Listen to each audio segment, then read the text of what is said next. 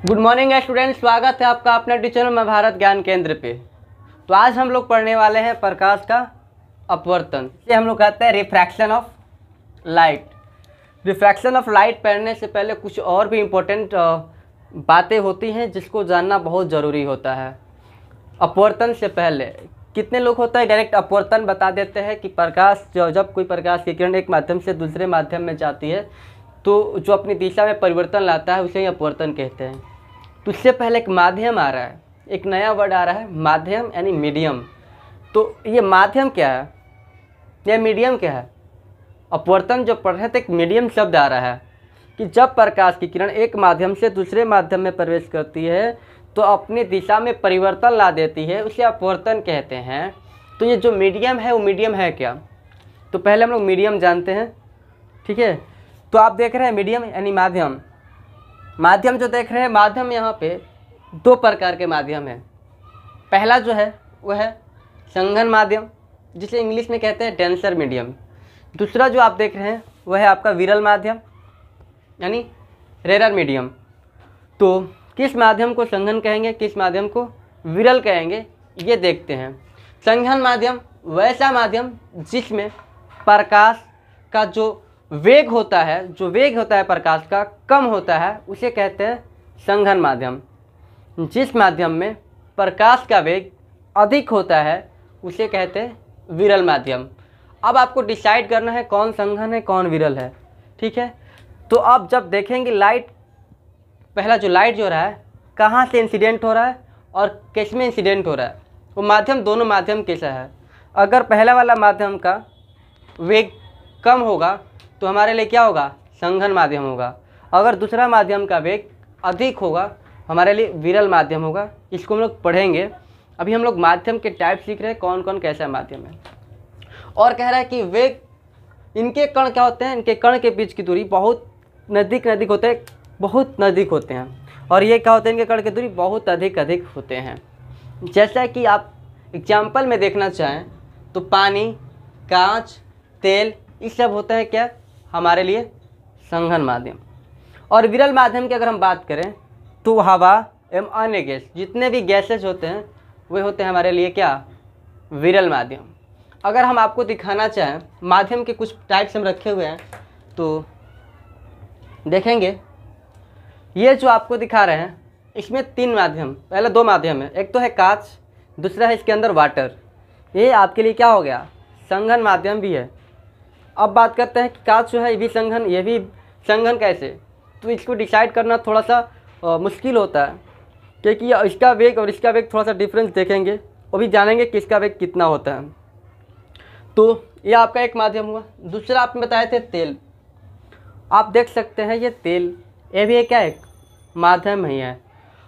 ठीक है? आपको दो माध्यम अभी दिखा रहे हैं अभी एक और माध्यम आपको दिखाते हैं। गैस होता है तो बोलेंगे थोड़ा सा माचिस देने के लिए। थोड़ा पेज दीजिएगा। कुछ टूट दीजिए ना, कूट दीजिए उधर से। आपको एक गैस को दिखाते हैं। हवा जो देख रहे हैं, जो यहाँ हवा जो हमारे अगल बगल जो जो ऑक्यूपाई की हुई है, जगह को, वो हमारे लिए एयर ही है। वह कौन सा माध्यम हो जाएगा? विरल माध्यम हो जाएगा। हम आपको यहाँ तो गैस अवेलेबल नहीं है। कुछ ट्राई करते हैं आपको दिखाने के लिए। वो हार्ड वाला कूट देना।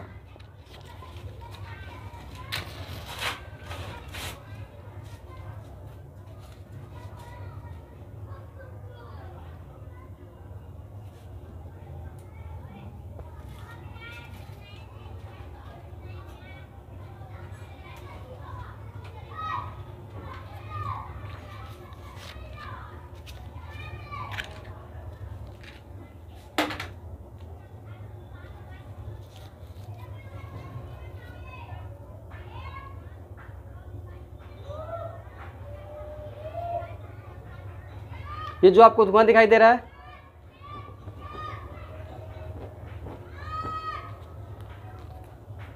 ये जो आपको धुआँ दिखाई दे रहा है, धुआँ दिखाई दे रहा है आपको ये? ये जो धुआँ है, यही जो धुआँ है वही हमारे लिए क्या हो जाएगा? गैस हो जाएगा, क्या निकलता है? कार्बन डाइऑक्साइड निकलता है तो क्या है एक प्रकार का? गैस है। तो जो गैस है, वही क्या है? विरल माध्यम है। तो हम लोगों ने माध्यम देख लिया। किसे संघन माध्यम कहेंगे, किसे विरल माध्यम कहते हैं। माध्यम दो ही होते हैं, एक संघन, एक विरल। अब इसका क्लियरफाई करते हैं स्पीड ऑफ़ जो वेलोसिटी होता है, जो प्रकाश का जो वेग होता है, जो लाइट का, उसके उसके ऊपर डिपेंड करता है। तो हम देखते हैं कि किस माध्यम में किसका, प्रकाश का वेग कितना होता है। पानी में कितना होता है, कांच में कितना होता है, फिर हवा में निर्वात में कितना होता है, उसके बाद हम पढ़ेंगे कि अपवर्तन होता है क्या? पहले इतना चीज़ जानना ज़रूरी होता है। तो चलते हैं अपने अगले। सिखाते हैं आपको। हम लोग देखते हैं कि किस माध्यम में प्रकाश का चाल कितना होता है, उसका वेग कितना होता है। ठीक है? तो आपको एक टेबल दिया गया है और इस टेबल में लगभग सिक्स सिक्स मीडियम का आपको उस, जो उस मीडियम में जो प्रकाश की चाल होती है उसको दिखाया गया है कि किस मीडियम में कितना होती है। तो पहला देखते हैं। पहला जब देखेंगे तो कह रहा है कि निर्वात। तो निर्वात में प्रकाश की जो चाल होती है, वो होती है थ्री गुणे एट पे पावर आठ मीटर प्रति सेकेंड। पहला जो है, कह रहा है कि निर्वात में प्रकाश की जो चाल है, कितना होती है? टेन पे पावर एट। ठीक है? थ्री गुणे टेन पे पावर एट मीटर पर सेकेंड। दूसरा जो है कह रहा है कि पानी।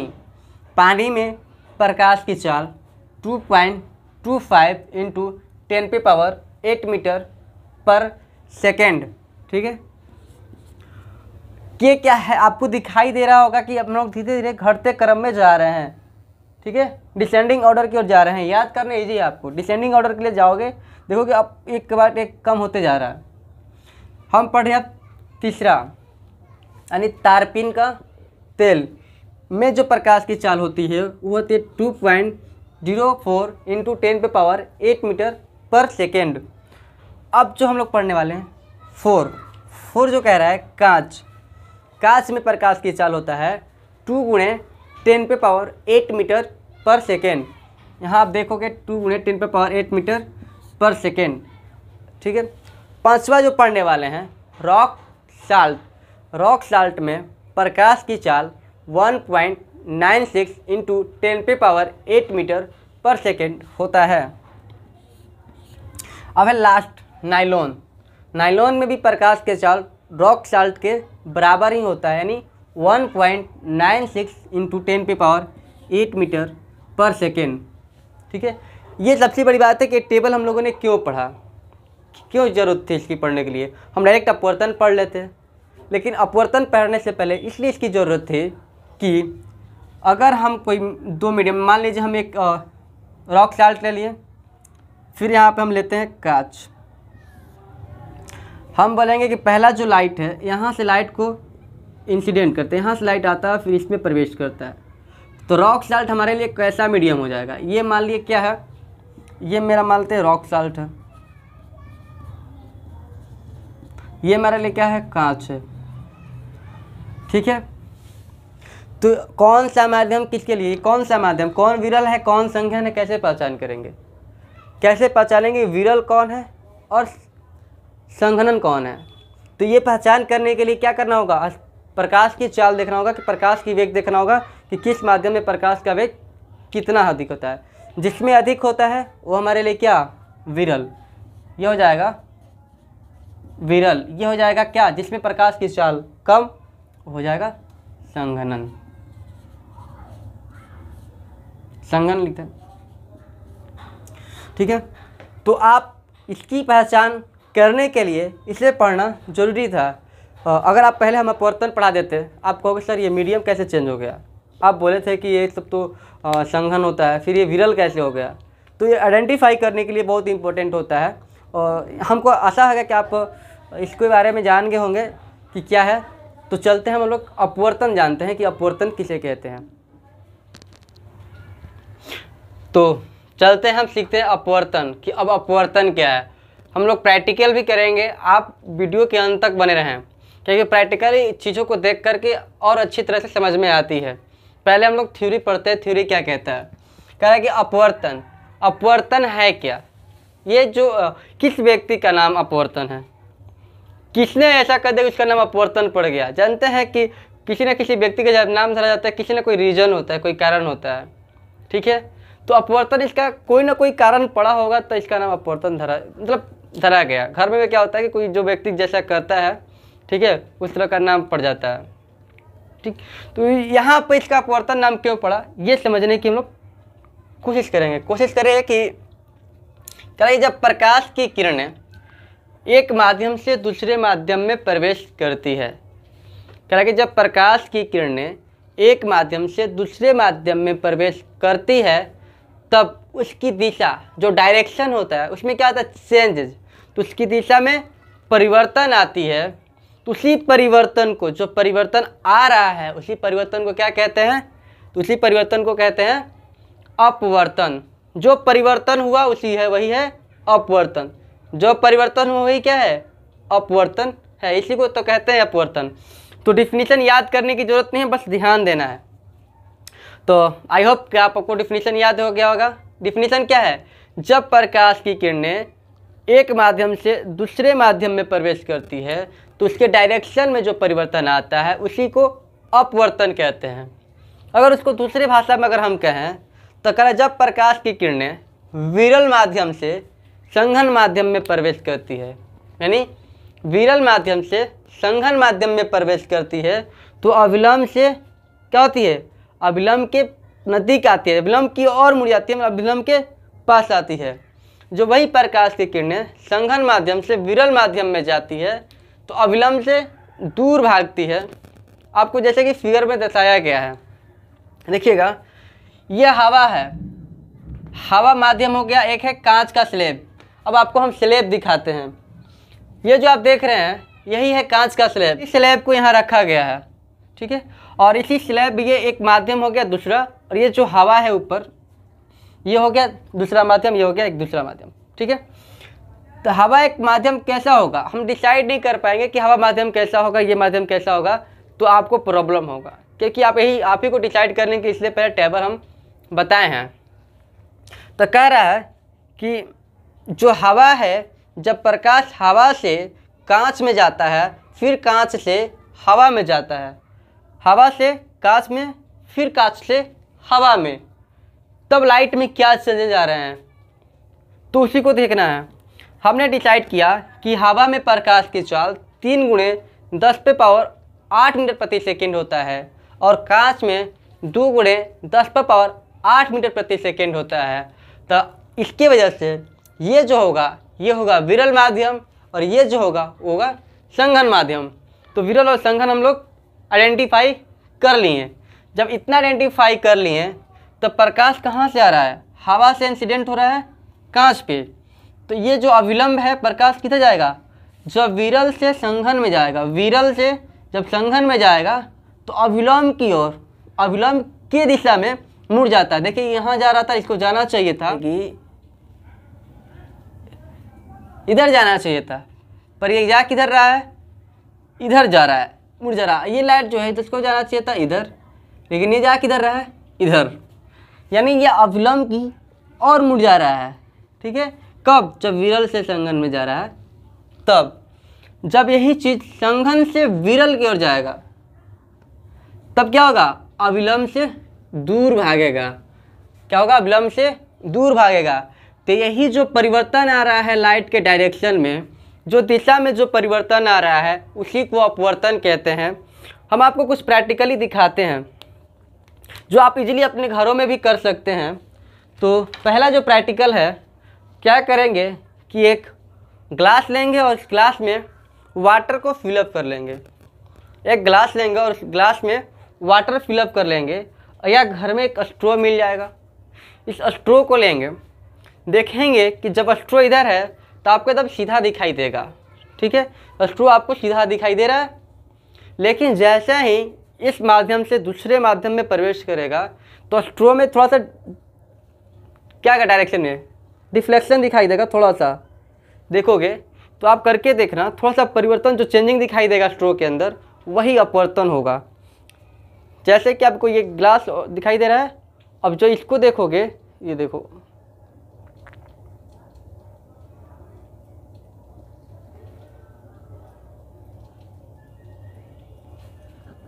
आप जो आप देख रहे हो कि ये क्या है, अगर आप देखोगे तो ये जा रहा है स्ट्रो एकदम सीधा, इसको जाना चाहिए था इधर, लेकिन थोड़ा सा क्या हो रहा है, अविलंब की और और मुड़ जा रहा है। तो आप देखो क्या हो रहा है ये, अविलंब की ओर मुड़ा क्या कि हवा से जा रहा है? पानी के अंदर तो क्या जा रहा है? हवा से पानी तो क्या रहा है, विरल से संगन में जा रहा है तो अविलंब की ओर मुड़ जा रहा है, जिससे आपको दिखाई देगा कि पाइप से थोड़ा सा दूर हटा हुआ दिखाई देगा। लगेगा यहाँ से पाइप थोड़ा सा क्या है, बैंड है, मुड़ा हुआ है। जो मुड़ा हुआ दिखाई दे रहा है, जो बैंड जो पाइप जो जो स्ट्रो जो है, जो बैंड दिखाई दे रहा है, उसी को कहते हैं अपवर्तन। क्या कहते हैं? अपवर्तन। ये पहला और घर पे इजली प्रैक्टिकल आप कर सकते हैं। और सेकंड प्रैक्टिकल आपको हम दिखाते हैं। आप देखोगे कि इजली ये जो चीज़ें हैं, आप जान रहे होगे। क्या है? नींबू। और नींबू के बारे में तो बहुत चीज़ जानते भी हैं पहले से। ये जो देख रहे हैं आप, आपको एक छोटा दिखाई देगा। क्योंकि ये अभी क्या है? एयर में है, ठीक है, हवा में है। जैसे ही ये हवा से पानी के अंदर जाएगा तो थोड़ा सा बड़ा, ठीक है, अपनी आकृति से बड़ा दिखाई देगा। आप देखिएगा। बड़ा दिखाई दे रहा है? दिखाई दे रहा है बड़ा? अपने आकृति से कैसा दिखाई दे रहा है? बड़ा। थोड़ा सा आप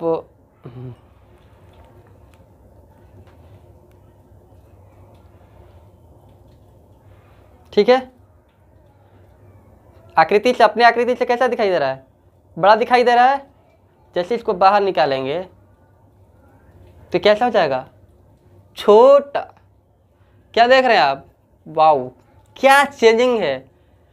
इसी को कहते हैं फिजिक्स कि आपको अपने अंदर उत्साह जगा देगा। कि ये कैसे हो जा रहा है? अभी तो छोटा, अभी इतना बड़ा, अभी तो छोटा, अभी इतना बड़ा, कैसे हो जा रहा है? जो परिवर्तन आ रहा है, जो इसको बड़ा करके दिखा रहा है, ठीक है? जो इसके आकृति में परिवर्तन ला रहा है, वही क्या है? रिफ्रैक्शन है, अपवर्तन है। आई होप आपको ये बात समझ में आ गई होगी। तो आपको दो चीज़ें हमने प्रैक्टिकली दिखाई। एक और चीज़ आपको हम दिखाना चाहते हैं, जो आप इजीली अपने घरों में कर सकते हैं। ये आपको जो एरो दिखाई दे रहा है, ये देखिए किस डायरेक्शन में ठीक है? ये एरो भी किस डायरेक्शन में है? किधर है? राइट की तरफ़। किधर है? तो राइट की तरफ़। अब देखिएगा किधर हो जाएगा? लेफ़्ट की तरफ़। अब आप देखना।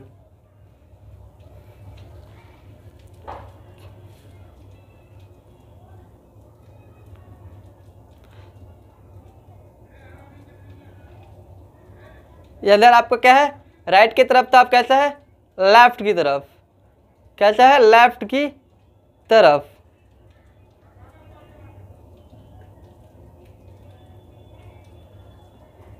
कैसा है? लेफ़्ट की तरफ़ ठीक है? अभी आप देखोगे कैसा था? राइट की तरफ़ था। अभी कैसा है? लेफ़्ट की तरफ़। अभी आप कहोगे, सर, आप बदल दिए होंगे। तो आपको थोड़ा सा बाहर निकाल के दिखाई देते। किधर है? राइट की तरफ़ डायरेक्शन है? आप देखना किधर जाएगा। लेफ़्ट की तरफ़। दिखाई दे रहा है? दिखाई दे रहा है?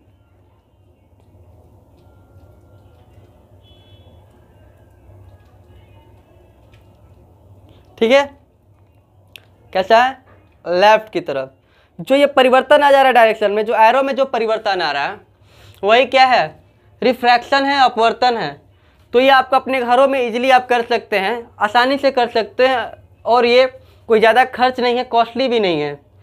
ठीक है? तो आई होप कि आपको ये वीडियो बहुत अच्छा लगा होगा और थोड़ा फनी टाइप में पढ़ो यार। देखो कैसा हो जाता है।